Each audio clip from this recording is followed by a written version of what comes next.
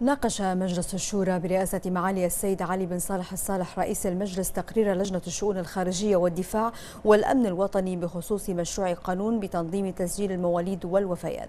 جاء ذلك بعد أخذ الرأي النهائي على مشروع قانون بتعديل بعض أحكام قانون العقوبات الصادر بالمرسوم بقانون رقم 15 لسنة 1976 المرافق للمرسوم رقم 4 لسنة 2015 والمصادقة على مضبطة الجلسة السابعة للمجلس.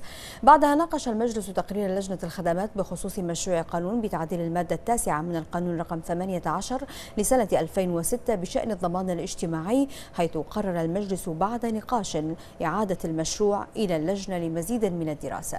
يهدف هذا المشروع إلى زيادة المساعدة الاجتماعية الشهرية للفئات المستحقة بنسبة 3% سنويا وذلك لمواكبة تضخم الأسعار في السلع الأساسية والخدمات الضرورية للأسر والأفراد البحرينيين من الفئات المستحقة للمساعدات الاجتماعية.